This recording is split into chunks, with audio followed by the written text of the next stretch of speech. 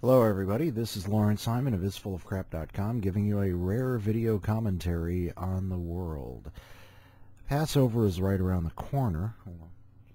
No, it's not here yet. Um, but uh, one of the things about Passover that I find fascinating is the idea of matzah. Now, uh, you've probably seen uh, stupid flash videos from uh, Jib Jab and uh, all sorts of other stuff out there. Um, to make the short of it, uh, it is bread that hasn't had the opportunity to rise. Uh, it's unleavened, and so uh, leavening meaning, of course, uh, well, I don't know what it means. Something to do with rising and, and yeast and all that. Uh, but the the point is, it uh, the Jews didn't have time to let the bread rise before they were like, "Hey, get out of here! Hey, come on, get get go go! You're no, you know, you're not on the payroll anymore. Get out of here." So uh, the the thought is it's a uh, it, it, even though it's you know freaking crackers, uh, it, it's the best that they could do with the time that they had. Uh, if they had had more time, if they had planned in advance, maybe they'd have let the bread risen and all that.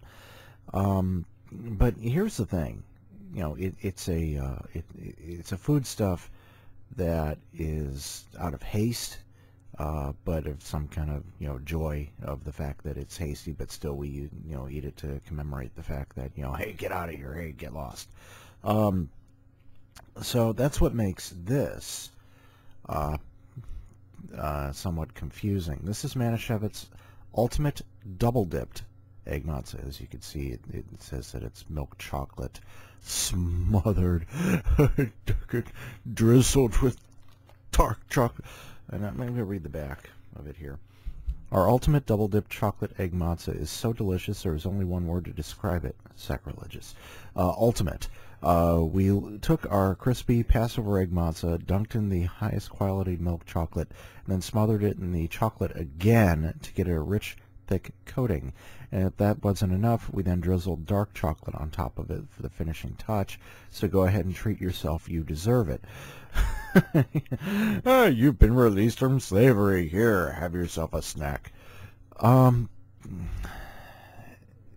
it's also, uh, here's the thing. Um, apparently, okay, hold on, allergy information produced in a plant that also processes milk, nut, wheat, soy, and egg-containing products. Airborne traces of milk, nuts, wheat, soy, and eggs may be present, because as we all know back then, allergies were a chief concern. Uh, but it's got the big old circle U and the P, which means that it's certified by that uh, Orthodox Union and uh, certified for Passover. Now, imagine way back when uh, Moses uh, and all the Israelites and all that, uh, well, not yet Israelites because they weren't there yet, uh, but Moses and all the Hebrews or Jews or whatever, you know, the freed slaves, um, instead of getting 40 acres and a mule, they got a boot in the ass. You know, get out of here if you you know, if you lean, you clean, and get the hell. But um, imagine that in their haste, uh, they don't have time to let the bread rise. But of course, they've got plenty of time to dip the matzah, uh, not just once, not just twice, but also drizzle it with dark chocolate.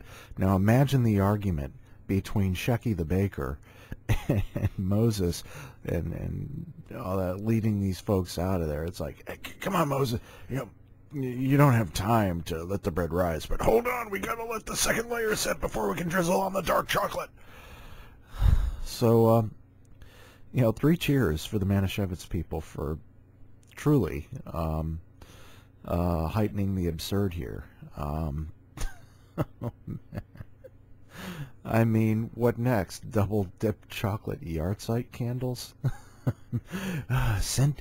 That's right, Glade scented yahrzeit candles. My mother died last year. Ah, boysenberry. I don't know. Anyway, this is Lawrence Simon, is fullofcrap.com, uh, letting you know, um, happy Passover.